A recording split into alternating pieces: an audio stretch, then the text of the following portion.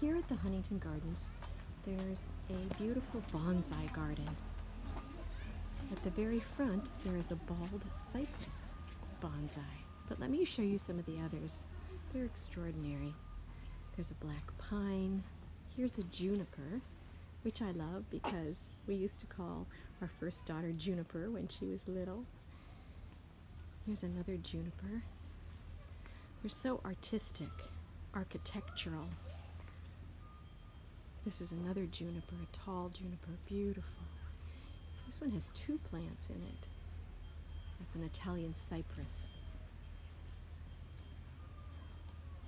It's just fun to gaze at the beauty and the handiwork of the garden experts who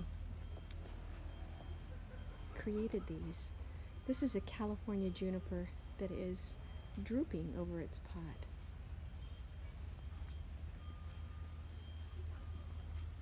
A miniature olive, a pomegranate, a Chinese elm. That's the tree that I had in my backyard when I was little. More junipers, a boxwood, and a mountain stone.